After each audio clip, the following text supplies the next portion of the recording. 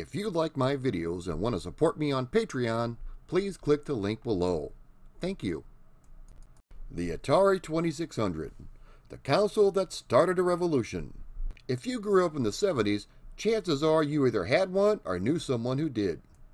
Today, we are going to talk about one of the best selling games on the system. This innovative game would go on to sell over 4 million units. The name of the game is Pitfall. What famous movie was the inspiration for this game? What was the original name of this game? So swing on that vine and grab that treasure because this is the history of Pitfall. Now, even though Pitfall was released in 1982, our story starts back in 1979 with a memo from the president of Atari to the programming staff. The memo was about which games were selling well so that the programmers could design more of these types. David Crane, Larry Kaplan, Alan Miller, and Bob Whitehead were four of Atari's superstar programmers, and also known around Atari as the Fantastic Four. These four were responsible for a number of Atari's hit games. David Crane remembers that these four people were responsible for roughly 60% of Atari sales, which equaled out to about $60 million. They were only being paid 22,000 a year with no royalties and no credit. The four walked into the office of Atari CEO Ray Kassar and laid out their argument for programmer royalties and credit on each game sold. Mr. Kassar said that anybody could program a cartridge and that they were no more important than the guy putting the boxes together on the assembly line. The four superstar programmers decided to head out and start up a new company called Activision. They became the very first third party developer in history. Why did they choose the name Activision? Because in the phone book, Activision comes before Atari. While still at Atari, David Crane had been struggling with the idea of getting a fully articulated man up and running on an Atari 2600. For a couple of years, he would work on it, get frustrated, and then move on to another project. Finally, he sat down with an empty sheet of paper and drew a man right in the middle. Okay, he thought to himself, He's got the man. Now, where is he running? He drew two lines for a path. Okay, he thought. Now, what's in the background? So he drew some scenery. He sketched a few things to chase after. Within 10 minutes, he had his full design document for Pitfall. 1,000 programming hours later, the game was complete. Pitfall for the Atari 2600 sees you step into the shoes of Pitfall Harry as he attempts to grab 32 treasures within the 20 minute time limit. You have to traverse 255 screens while avoiding all of the obstacles in your path. The various treasures include gold, silver, money bags, and diamond rings. You have to collect 8 of each item. The various pitfalls in your way include scorpions, snakes, fire, alligators, pits, and logs. You start the game with 2,000 points that can be depleted if you fall down holes or run into logs. You also start the game with 3 lives, so be careful. The 255 screens complete a circular maze. Once Harry has run through all the screens in one direction, he returns to the starting point and may continue if treasures were missed. How could you miss a treasure, you ask? Each underground screen is the equivalent of three above ground screens. While you may travel faster below the surface, you never know what you may have missed. When the game came out, you could send a photograph of your TV screen with 20,000 points or higher to be awarded an Explorer's Patch. This was essentially the very first achievement in video games long before Microsoft and Sony were doing it. Another innovation by the masters at Activision. The playability, graphics, and animation were phenomenal at the time, and they still hold up today. The brain trust at Activision had to use all kinds of programming tricks and techniques to squeeze as much processing power out of the Atari 2600 as they could. This is why Activision games look so much better than anything else on the market. For example, David Crane wanted Pitfall to only offer one life instead of three. Just before the game went into production, his fellow programmers felt that three lives would be much better than one. To make this happen, he had to go through the code and free up a few extra bytes, which took him roughly two extra weeks. This is how tightly packed the 4K ROM was. One one hundredth of one iPhone picture is roughly the same size as the entire Pitfall game. David Crane took inspiration for this game from the swashbuckling, treasure hunting, vine swinging adventures of Indiana Jones. The crocodile scene from Pitfall is in direct reference to the 1950s Heckle and Jeckle cartoon, where the crazy magpies jump through the mouths of the crocodiles. The game would go on to sell over 4 million units on the Atari 2600 alone. This was the second highest selling Atari game of all time, right behind Pac Man. At the height of its popularity, they had to hire a staff of seven people to open mail five days a week. They estimated they were getting 14,000 letters a week. Thousands of people created homemade maps of the game and mailed them into Activision. There was a lot of Pitfall merchandise available as well. Everything from coloring books to stickers to board games, and even recently, they released an awesome retro action figure of Pitfall Harry. In 1983, as part of the Saturday Supercade on CBS, Pitfall Harry made his animated debut. The cartoon introduced his niece Rhonda as well as his cowardly lion Quick Claw. The initial title of the game was Jungle Runner, but it was changed at the last minute to Pitfall. The sound that Pitfall Harry makes when swinging on the vine is an electronic tone version of the Tarzan yell from the 1930s movies.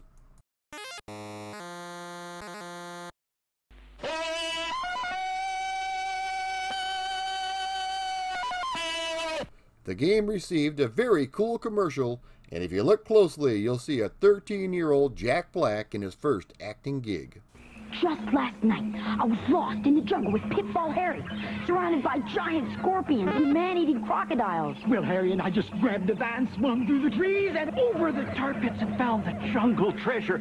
It was really neat. If you haven't met Pitfall Harry, you're missing the year's most incredible video game adventure. Pitfall for the Atari 2600 and Intellivision. Since I met Pitfall Harry, no other man will do. Pitfall, designed by David Crane for Activision.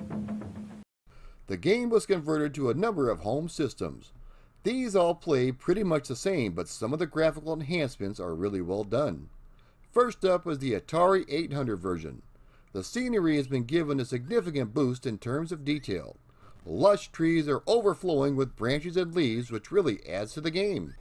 The gameplay is just as good as on the original Atari 2600. The Atari 5200 version is almost identical to this one. The good old Commodore 64 version is up next and it offers a few graphical enhancements over the 2600 version. It's very similar to the Atari 800 version, but not quite as detailed. The sound effects are a bit irritating, but at least the game does play good. The Intellivision version looks very similar to the original 2600. The colors may be a bit different, but graphically it looks to be almost exactly the same. The playability is just as good. The ColecoVision version looks really good, and it is a bit of a step up from the 2600. My main question is this. What the heck is Aquaman doing in a Pitfall game? The Pitfall Harry sprite looks identical to the classic Aquaman character. The gameplay feels just as good as the 2600 version. In 1984, Pitfall 2 The Lost Caverns was released for the Atari 2600. Once again, the game was developed by David Crane. The game offered a larger world to explore, vertical scrolling levels, rivers that you can swim in, and hot air balloons you can travel in between sections. In order to use all of these enhancements, Mr. Crane developed a display processor chip or DSP to allow for improved graphics and 4-channel sound instead of the usual 2-channel sound. First thing you notice is that Harry has unlimited lives. When he dies, he loses points and travels back to his last checkpoint. Speaking of checkpoints, this was the first game in history to offer such a feature. The goal of the game is to rescue your niece Rhonda, Quick Claw, which is Harry's pet cowardly lion, and also a diamond ring. There are plenty of new pitfalls to avoid as well. In 1985, Activision licensed the game to Sega so they could release an arcade version. Rather than release the original, they went with the sequel, The Lost Caverns. This plays a lot like the original 2600 release, but the graphics have been beefed up immensely. There are lots of new obstacles to avoid, such as spiders, rolling boulders, flying fish, and more. This version of the game was loosely converted to the Nintendo Entertainment System. This version of the game is horrible though, with large, ugly sprites and terrible colors. The scrolling is very choppy along with the animation. To be honest, it looks more like a Mario clone than an actual Pitfall game. David Crane wants everybody to know he had nothing to do with the development of this horrendous game. In 1994, initially released on the Sega Genesis was Pitfall the Mayan Adventure. You take on the role of Pitfall Harry Jr. as he attempts to rescue his father, Pitfall Harry. The gameplay is similar to the original 2600 game, but there are branching paths you can take. Junior's abilities are more advanced than his father's old skill set of just running and jumping. He can climb and swing from a variety of ropes, duck to dodge high flying projectiles, wield an array of his own throwing items, and crack a whip to keep crawling creatures at bay. You can even unlock the original 2600 version as an Easter egg. The game is a lot of fun to play, and any fan of Pitfall should check it out. The game was added to a number of Activision compilations over the years, including the Activision Atari 2600 Action Pack and the Activision Anthology.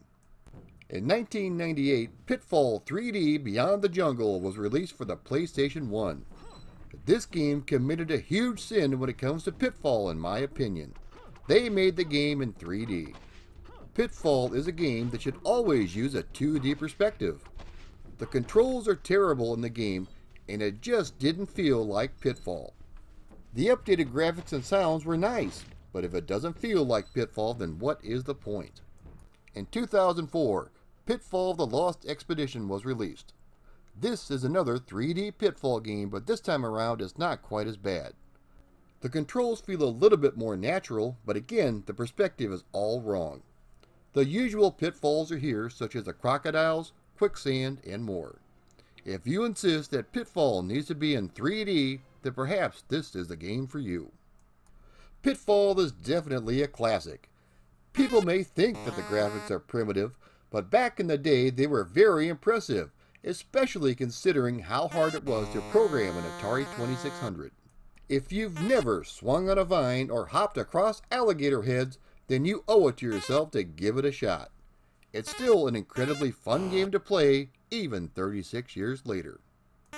If you like this video and want to support me on Patreon, please click the link below. Also, make sure to like, share, and subscribe to my content. It's the only way my little channel can grow. Thanks for watching.